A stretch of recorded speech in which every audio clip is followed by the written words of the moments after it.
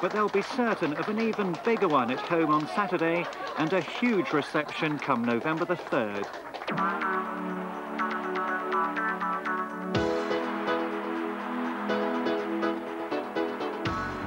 For Norwich City and their supporters, the game in Munich was always going to be one of the highlights of their European adventure. Some supporters had travelled two days by coach to get there. Bayern are a big club with a big reputation and a stadium to match.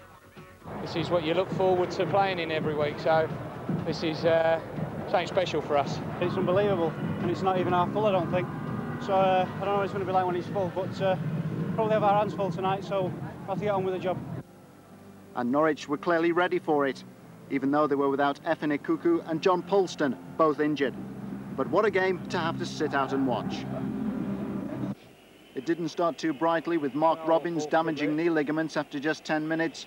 Norwich had lost an attacker, but not their ability to cause problems, even for Lothar Matthäus, the German World Cup captain. Jerry Goss saw to that. Goss making the most of Matthäus's awkward clearance. After half an hour, the Bayern defence was left standing again, as Mark Bowen made it 2-0. Away goals count double, of course. Norwich were now well on top. But Matthäus was soon to intervene at the other end, getting Jorginho away and setting up Nerlinger. 2-1. Second half, and Norwich stretched to the limit.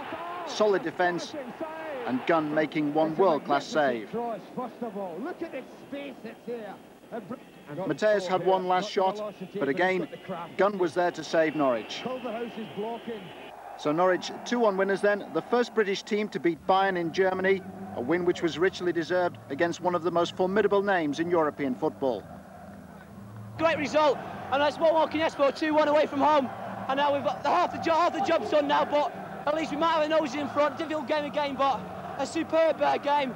And like, the support has been brilliant for us, brilliant. And the boys, we just, they just don't give up. We've had to defend.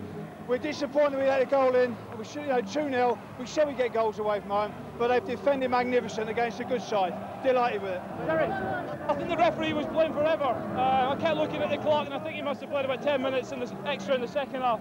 Um, we held on very well. We defended very well. Disappointed to lose a goal, but um, it's a great result away from home. I've missed a couple of sitters in uh, the last couple of games, little tap-ins. The lads are having a joke now, I can't score tap-ins. I only score volleys from outside the box. I'm quite happy with that one. Must be the highlights of your career. Fantastic, great evening. Superb support. We've won the game 2-1. We've got it all to do now. Let's not get carried away. There's still 90 minutes left. They're a good side. Good, good. Auf Wiedersehen. It might be Lothar Matthäus and Bayern Munich who are saying goodbye to the UEFA Cup when they go to Carrow Road in two weeks' time.